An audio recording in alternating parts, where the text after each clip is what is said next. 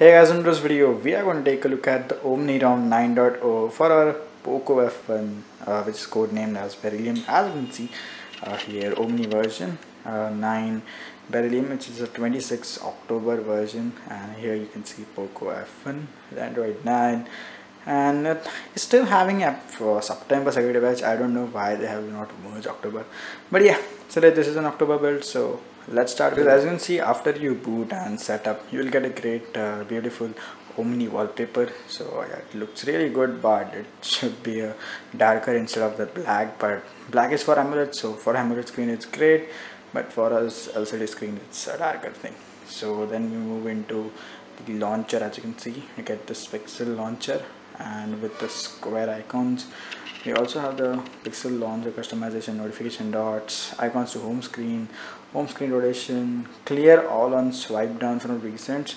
So if the navigations are enabled so clear all on swipe down from recent. So yeah as you can see if I just uh, swipe down to the recent you can see everything gets cleared so that's great.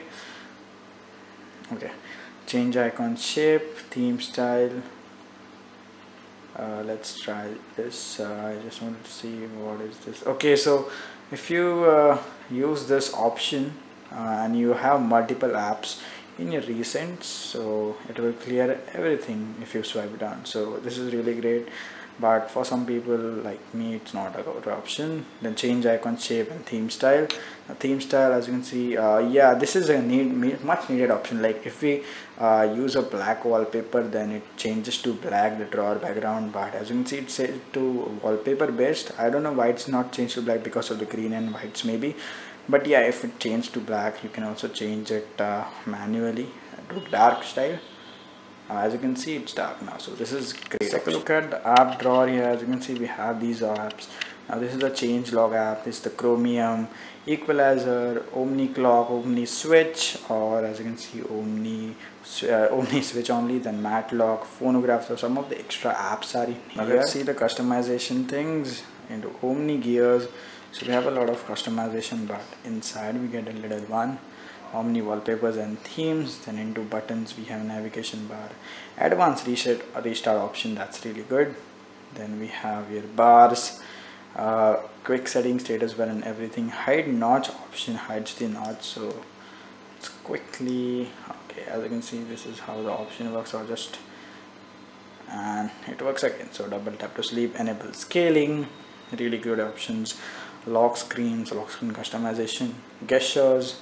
Yeah this navigation gestures battery led settings and this led things. Weather then the system ui tuner fun for some but not for everyone. Uh, this may break things about the system ui then height summary. So yeah okay good option here. And we have disable recent app limits and uh, yeah also good option. So cpu info column layouts yeah all of the options as you can see if you switch to column layouts and we can see we get this column but this is looking ugly. So let's change it. Uh, okay back to normal now. This ROM is really smooth and yeah like the performance size is really great but I can't talk about the battery because I don't use it. It's my mom's phone. So I don't use it as my daily driver but if someday if I uh, get to use to review a ROM that will be really great. Like I will give them mom, my mom to use that ROM and yeah like maybe pixel experience next review I will try. Uh, it will be pixel experience review and yeah I will surely tell my mom to use and say the usage. So yeah that's it for this uh, today's video like this video and I'll see you guys in the next video. Till then you can just like or dislike whatever your opinions are on this video. You can share in the comment section. And also you can subscribe my youtube channel for more videos about the poco f1 and bye bye i'll see you guys in the next video. Till then bye bye